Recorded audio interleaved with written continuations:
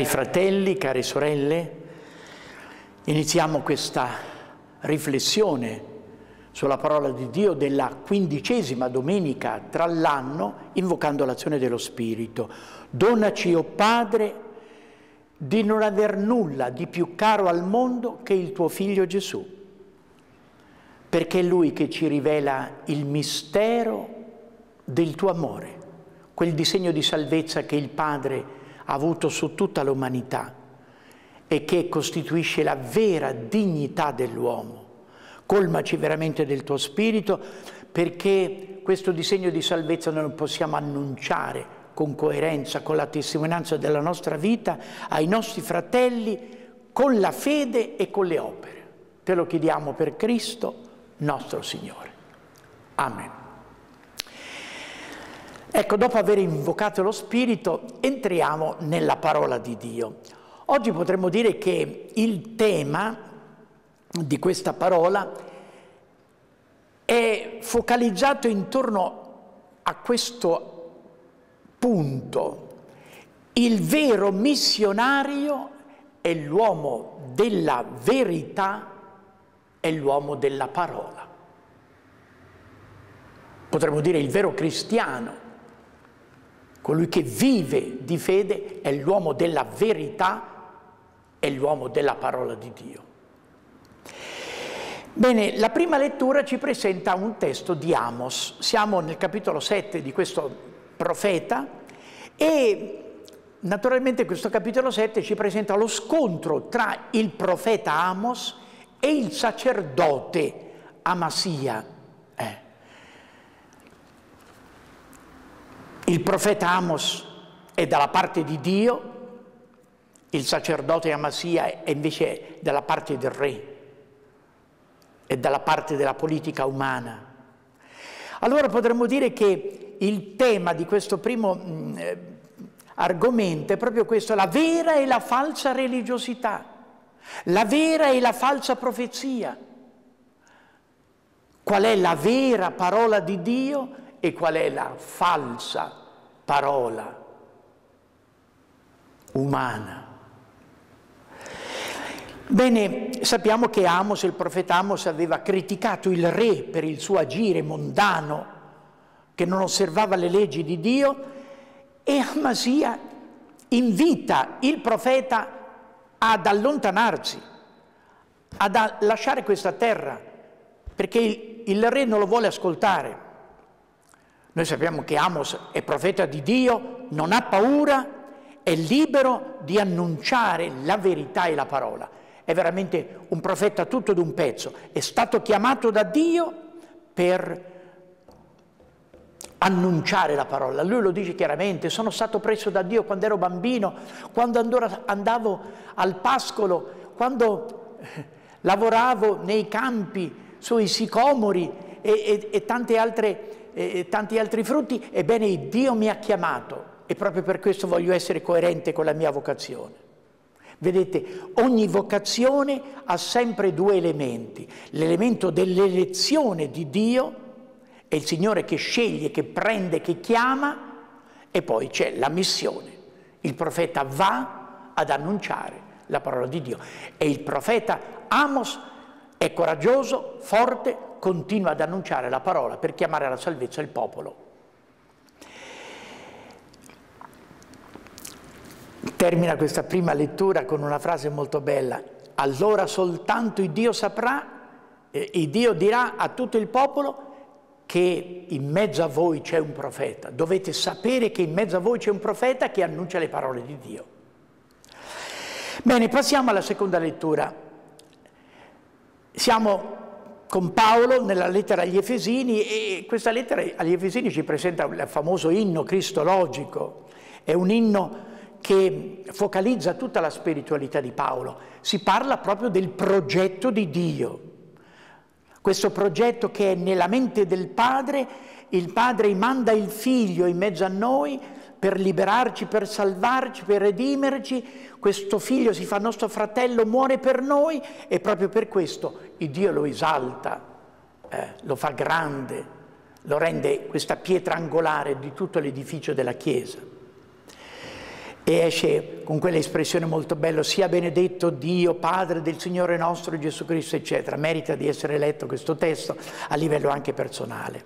Dunque, tutta la storia della salvezza ha come centro focale la figura di, di Cristo e con Cristo la figura dell'uomo nuovo.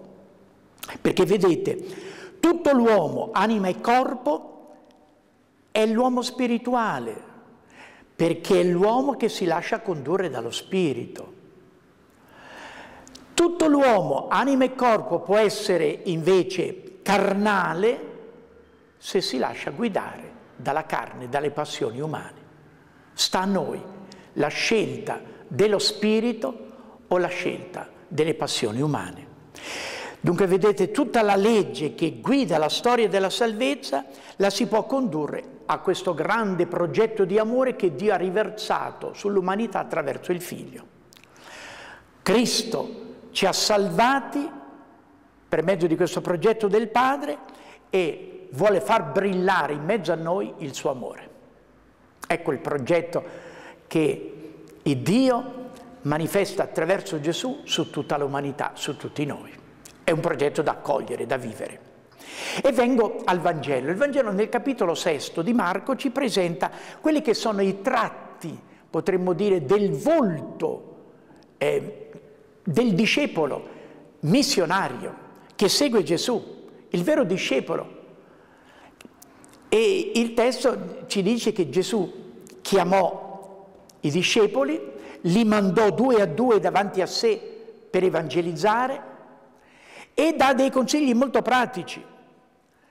Il discepolo è colui che deve avere un equipaggiamento molto semplice, non bastone né bisaccia né pane né questo né quest'altro, solo le cose essenziali che gli servono per la sua evangelizzazione.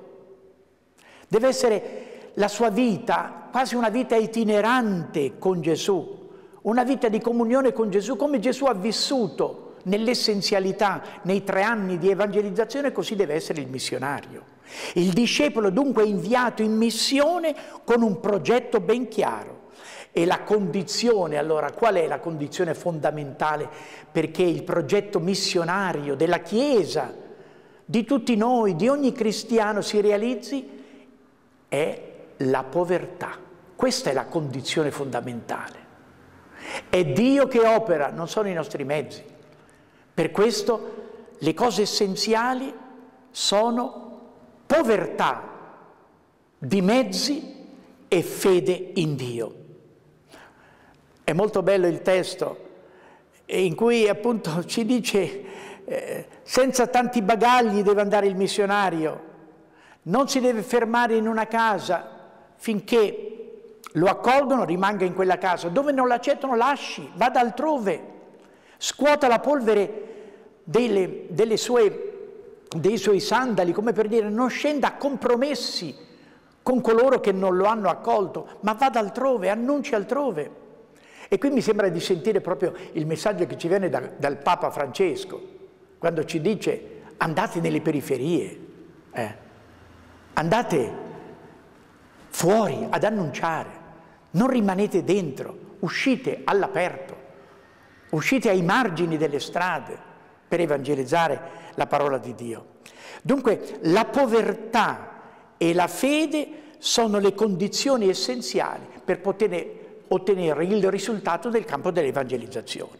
E allora l'annuncio del discepolo non sarà soltanto una teoria, ma sarà una parola che convince, che coinvolge, che evangelizza, che converte, una parola attraverso la quale fa prendere posizione agli altri, una parola che forse disturba ma che converte il cuore. La missione del discepolo è soprattutto lottare contro il male, contro Satana, per fare emergere la figura di Cristo, la parola di Cristo. Quindi lottare contro il male, contro tutte le forme del male, tutte le forme di ingiustizia per far trionfare il bene. E allora il discepolo non è soltanto, potremmo dire, il maestro della parola, ma deve diventare il testimone di questa parola, testimone della verità, testimone della giustizia, testimone della pace. Ecco Signore, ti vogliamo veramente benedire e ringraziare di questa parola che ci ricorda qual è la nostra missione come cristiani, come evangelizzatori, come annunciatori del tuo mistero di salvezza. Fa che senza tanti mezzi umani possiamo concentrarci sull'essenziale che tu ci presenti, come ha vissuto Gesù, per essere in mezzo ai fratelli luce, sale, lievito che evangelizza e che trasforma il cuore degli uomini. Te lo chiediamo tutto questo per Gesù Cristo, nostro Signore. Amen.